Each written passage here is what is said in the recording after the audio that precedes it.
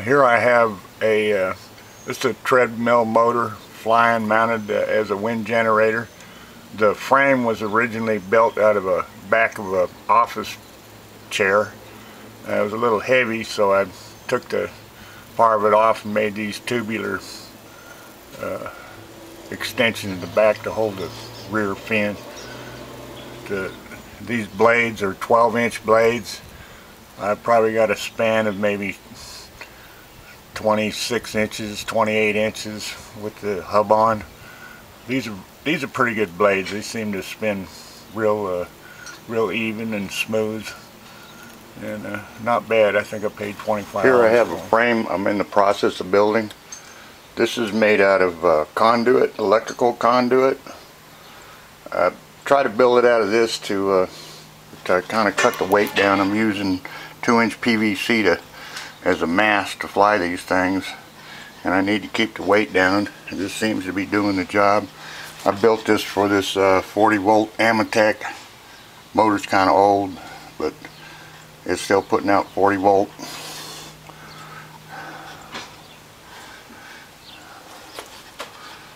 Next I need to mount the rear tail. Oh. and by the way this this uh, tubing is highly weldable so I, figured on doing that instead of using bolts on it. I'm going to run a bolt through here, be the only bolt in the on the frame, that and in the tail. I'm putting an aluminum tail on here. This is an experimental frame I, I built and the whole reasoning behind this is it's portable. You could take it with you if you go camping or something or fit on any pitch roof.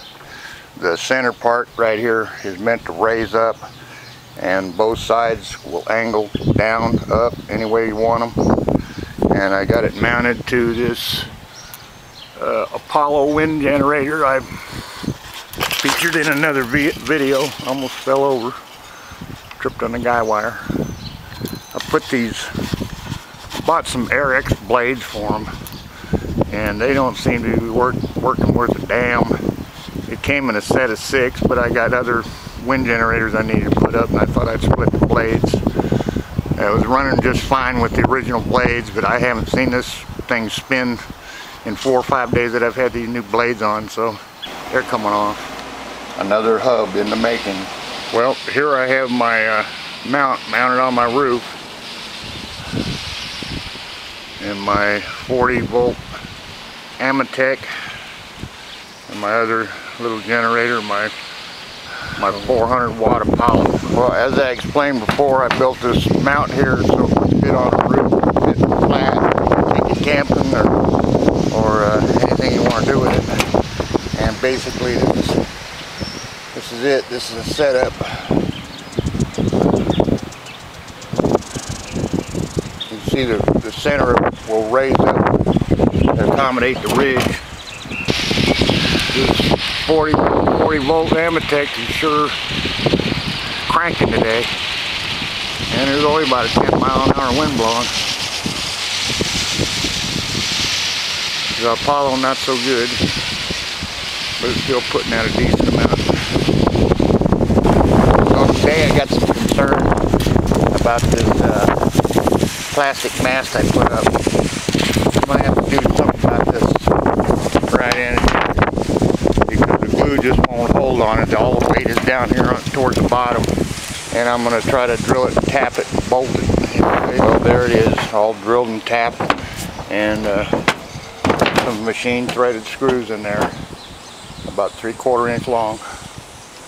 The rest of the pole seems to be holding up just fine. Had to put this 2x4 in here to kind of stiffen it up a little bit, maintain its rigidity. Another shot at my another shot of my tubular frame that I made out of three-quarter inch electrical conduit.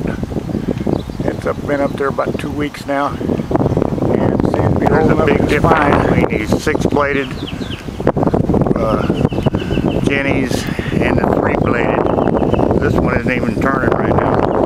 And there's about a 10 mile an hour wind blowing.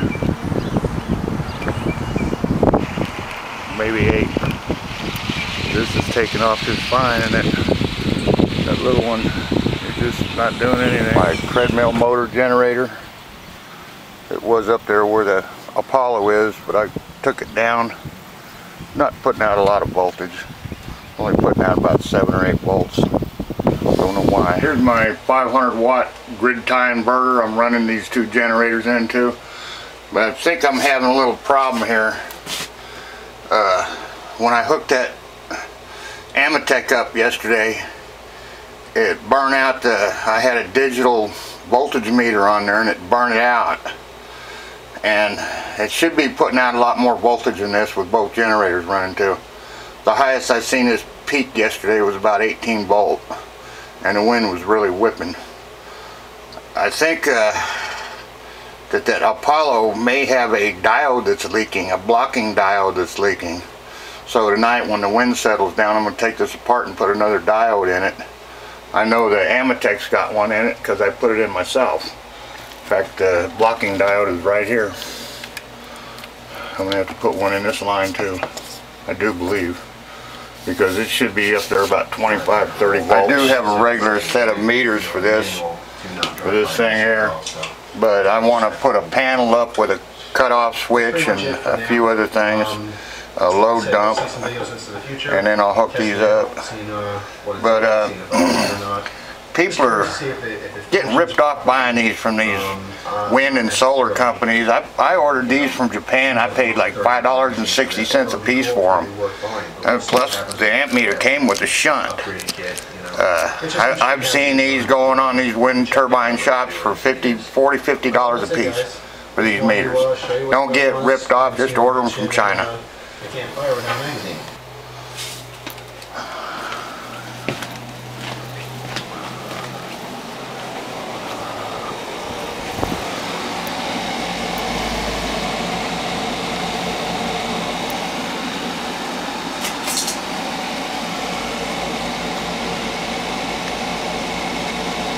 my little my 200, 250 watt for my solar, my inverter for my solar. And you see the little digital voltage meter working just fine on this.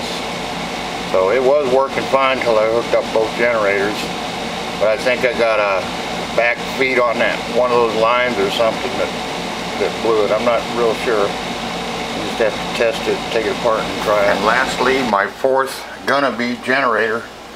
I need to replace this rear bearing here. I replaced the front bearing but I got to playing around with this rear one and it seems a little iffy and I don't want to get it up there and burn out another bearing so that's a project to come. Probably next month I'll have it up. Alright thanks for watching YouTube. Have a great one